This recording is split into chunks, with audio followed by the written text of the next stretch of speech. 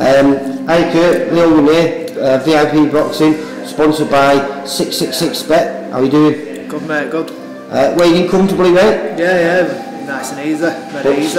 Uh, your opponent didn't quite make the weight, did he, Chris? Oh, I think you were two pound more. So if uh, he wins, he doesn't get the title. Yeah. You win, you do get the title. Yep, that's the one. Hey. He, he looked dead though, Chris. I, would, I, I wanted him to take a bit more off, but he looked, he did look dead at weight. But he'd have probably collapsed if he'd have tried taking more, any more off, like. No. So, So he's, he's happy enough, you're happy enough, so Yeah. you know, I mean, it's not a great difference? I, I didn't kill myself to make weight, so No. I've, do you know what I mean? So there's no adva- advantage really. If I killed myself to make weight, I'd have, yeah, you would have felt begrudging. yeah, wouldn't I'd, have, I'd have probably met him do you remember when I come down and I was chatting to you before we did the interview and I was saying to you, you already looked in shape and if I remember that was about three weeks before the fight and you said you were almost fight weight, you know, you weren't like you were dying or anything.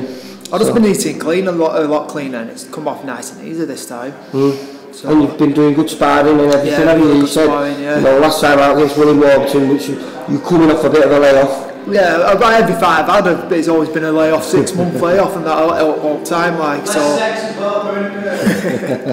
so um, this time I spoiled properly, like I said, William Warburton, I didn't spoil at all for the fight.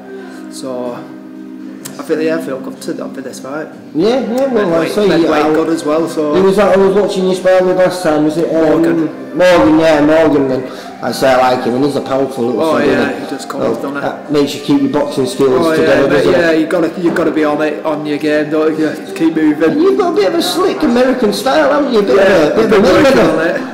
You know, that shoulder roll and, Yeah, I've been working on it for years. and counter punching. You like to wait for them to come on, so Yeah. you know, I think it's going to be a great fight. It and, is, uh, definitely. I say, it's your title fight for you then, mate, Yeah, it's it? done, yeah. So hopefully it'll be your first title fight. Hopefully, And hopefully. uh, even though I know Chris, you are our fighter, so no one can criticise me saying good luck for tomorrow night, mate, and hopefully I'll be chatting to you as the new.